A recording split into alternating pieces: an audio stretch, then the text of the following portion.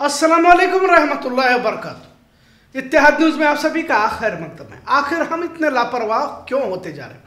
जी हाँ आज का मौजू इसी सवाल पर है और खासकर नौजवानों में इस बात को शिद्दत से महसूस भी किया जा रहा है। कुछ हादसे हो जाते हैं, लेकिन कुछ हादसों के लिए हम खुद जिम्मेदार होते हैं। महाराष्ट्र में मूसलाधार बारिश मुस्तकिल बरस रही है। हम बोलिए आजराज चंदगढ़ यानी कर्नाटक, महाराष्ट्र के। सरहदी इलाकों में और साथ में कोकन के इलाकों में भी इस बार पिछले साल के मुकाबले में बारिश ज़्यादा ही बरस रही है, ऐसा बताया जा रहा है।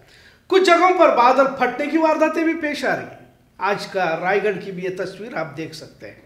और इसी का नतीजा कह सकते हैं कि कर्नाटक की कई नदियाँ उफान पर है। अगर खासकर बेलगाम ज़िले की भी बात कही जाए तो नदियों में पानी बाढ़ की तरफ़ बहने लगा है। लबालब भरी हुई नदियाँ देखी जा रही हैं। गोकाक फॉल्स में भी पानी का बहाव तेज हो चुका है। चंदगढ़ आजरा अम्बोली इलाके में मुस्तकिल बारिश बरस रही है, जिससे ताम्रपर्णी, घटप्रभा, चित्री हिरण्य नदियों को बाढ़ आ चुकी है।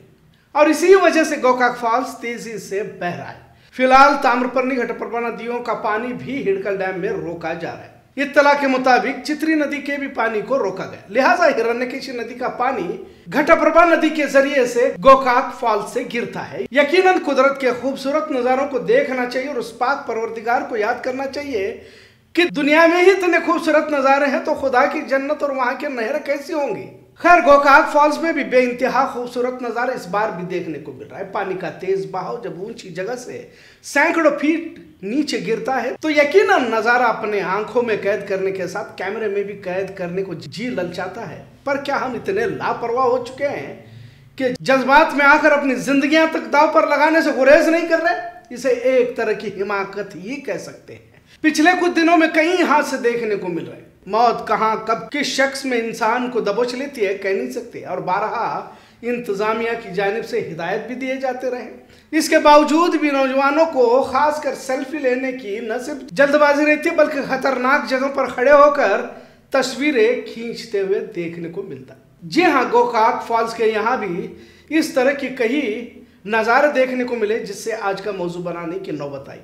इससे पहले भी गोकाक फॉल्स के यहाँ कई हादसे पेश हो चुके हैं, कई जिंदगियाँ इसी हिमाकत का शिकार हो चुके हैं। इन तमाम के बावजूद भी हमने ना तो सबक सीखा है और ना ही सबक सीखना चाहते हैं। अब तो लड़कियाँ भी पीछे नहीं रहना चाहती। बड़े ही अफसोस के साथ कहना पड़ता है कि लड़के तो पहले से नशे के आदि हो चुके थे। अब कुछ लड़कियाँ भी जो अपने आप को जदीद जमाने की समझती हैं, बेशर्मी का मुजाहरा करने से इन्हें कुछ भी गुरेज नहीं लगता। कईयों को तो सेल्फी के चक्कर में बिल्कुल किनारे खड़े हो जाते हैं और पाँव फिसल कर गिरते हुए भी देखने को मिला। और कई सारे खबरें इतलात भी हम सुनते रहते आखिर इस लापरवाही से मिलता क्या है? आप तो हिमाकत तकबरी अपने आप को होशियार, अक्लमंद समझने के चक्कर में दुनिया से चले जाते हो। लेकिन जिन वालिदैन ने आपको परवरिश कर यहाँ तक लाया था, उनके लिए कभी न मिटने वाले दर्द देकर चले जाते। घरों से झूठ बोलकर कई नौजवान अम्बोली, किटवाड़, चिखले, तिलारी, मालवन जाते हैं। मोटरसाइकिल पर एडवेंचर करते हुए तेज रफ्तार चलाते हैं और फिर किसी हादसे का शिकार हो जाते हैं। ईद के बाद हुए हादसों ने कई माँ बाप की गोद को सूना कर दिया। एक ही दिन में छह मौतें सिर्फ़ अम्बोली की सड़क पर हुई और वो भी तकरीबन लोग बेलगाम शहर से। दसवीं इम्तिहान के बाद दोस्तों के साथ किटवाड़ गए और उजैब मुजावर की मौत पेश आई। कई सारे वाकयात का ज़िक्र किया जा सकता है। बाशबन की चार लड़कियाँ इसी किटवाड़ डैम में गिरकर मर गई। इसी तरह बेलगाम मराठा मंडल के सात तालिब इल्म सिंधुदुर्ग के समंदर में डूबकर मर गए।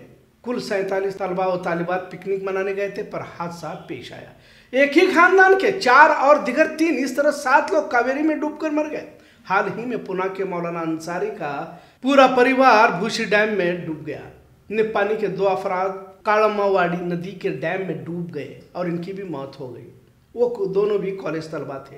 वडगांव के नौजवान की वजरा फॉल्स में गिरकर मौत हो गई। पिछले साल अगस्त में ही गांधीनगर का हुसैन अरकाटी कुर्ची मासाब दरगाह की जियारत को गया था। हादसे में इसकी भी मौत होगा। अगर फहरिस्त देखी जाए तो एक तवील है। पर क्या इन्हें सिर्फ़ हादसा कहकर नजरअंदाज किया जाए? कहीं हादसों के लिए हम खुद ही तो जिम्मेदार नहीं है।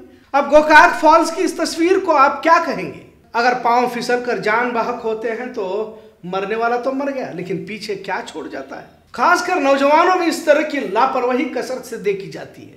यकीनन कुछ हद तक तरबियत की कमी है, किसी की बात न सुनना, मनमानी करना और मजीद सोने पे सुहागा दोस्तों की संगत। फिर कुछ ने तो मज़े से मुराद ही नशा समझ लिया है। एक तो हराम काम करने के बाद वैसे भी अल्लाह की मदद तुमसे हट जाती है। यह बात इसलिए कहना पड़ रहा है क्योंकि हमने अम्बोली या गोवा को। जो लोग बेलगाम से पिकनिक मनाने के लिए जाते हैं, गाड़ियाँ खड़ा कर सड़क पर ही नशे में धुत होकर नाचते रहते हैं। अफसोस के साथ कहना पड़ता है कि उसमें से कई सारे मुसलमान भी होते हैं, बेलगाम से भी होते हैं। ऐसा नहीं कि जो भी डूब कर मरे हैं, नशा ही करते थे या नशा किया था, लेकिन दोस्तों के साथ जो इस तरफ़ पिकनिक मनाने जाते हैं तो नशे में तेज रफ्तार मोटरसाइकिल दौड़ाते हुए रेस तो लगाते हैं, पर ज़िंदगी के रेस हार जाते हैं। कुछ लम्हों में कई जिंदगियाँ खामोश हो जाती है। मतलब कुछ लोग खुद ही हादसों को दावत देते हैं।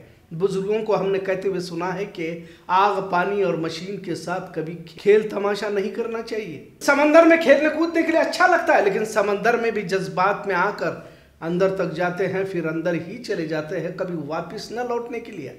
फिर रेस्क्यू टीम को ही बुलाना पड़ता है। ज़रूरत है ज़िंदगी को संजीदगी से समझने की। ज़िंदगी एक ही बार मिलती है। एक ज़िंदगी जब चली जाती है तो कईयों की ज़िंदगी को मुतासर करती है। किसी का बेटा, किसी का भाई, किसी का शौहर चला जाता है। अपने बेटे का सदमा अक्सर माए बर्दाश्त नहीं करती। हम कहाँ हैं और क्या कर रहे हैं और अपने वजूद का हरदम हमें एहसास होना चाहिए। पानी के साथ मज़ाक करने वाले भले भले लोग चले गए। लिहाजा लोग पानी के नज़ारे देखने को छुट्टियाँ मनाने, झरने, नदियाँ, फॉल्स, पहाड़ी जगहों पर मौज करने जाते हैं। पर जाने के बाद अपने आपा खो बैठते हैं। कुदरत को दूर से ही देखने की कोशिश करें, क्योंकि हमारी ज़िंदगी बेशकीमती है और तुम्हें किसी मकसद के तहत अल्लाह ने भेजा इसका एहसास ज़रूरी है। और अगर आप मान लो कि दीनदार भी नहीं हो तो आपके पीछे कई लोग हैं जो घर पे इंतज़ार कर रहे हैं। उनका तो कम से कम ख्याल और लिहाज करना ज़रूरी है। और सबसे अहम वालदेन का ख्याल करें, क्योंकि आपको इस जवानी तक पहुँचाने के लिए उन्होंने अपनी ज़िंदगी का, अपने जिस्म का खून तुम्हारे लिए पानी किया है। और इसलिए नहीं कि तुम मनमानी करके ज़िंदगी तबाह कर लो। गोका फॉल्स में, हाल ही में इस तरह के नज़ारे देखने के बाद हादसे के इम्कान का इनकार नहीं किया जा सकता। पुलिस की तैनाती के साथ अपनी ज़िम्मेदारी को भी समझने की ज़रूरत है।